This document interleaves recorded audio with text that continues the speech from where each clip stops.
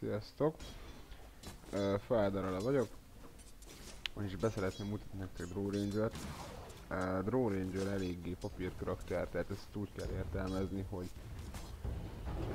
egy kontrolláiba eléggé könnyen elverik, kevés az élete és a páncélja. Menekülésre a Shadow Blade-et tudja használni, ami egy lilakard.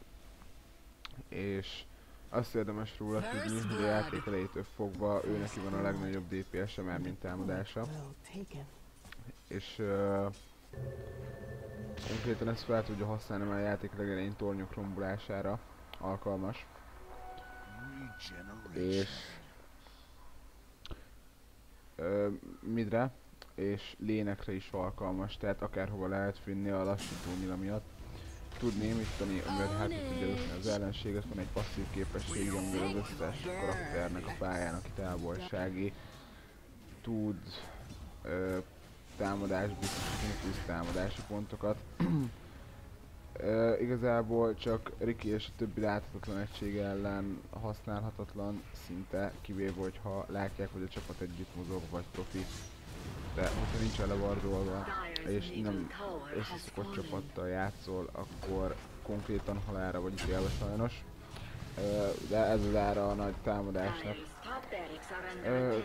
Később lehet életlopó maszkal erősíteni, hogy ne halljon meg folyamatosan, viszont azt érdemes tudni, hogy a lassító nyíla nem tudjátok a maszkot.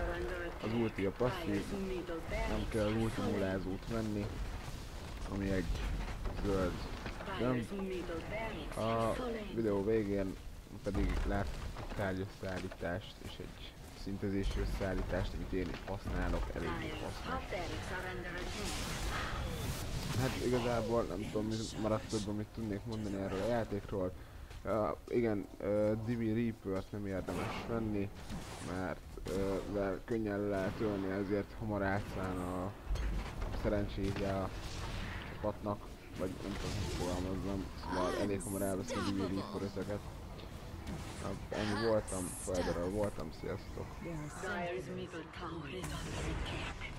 Such as tomorrow.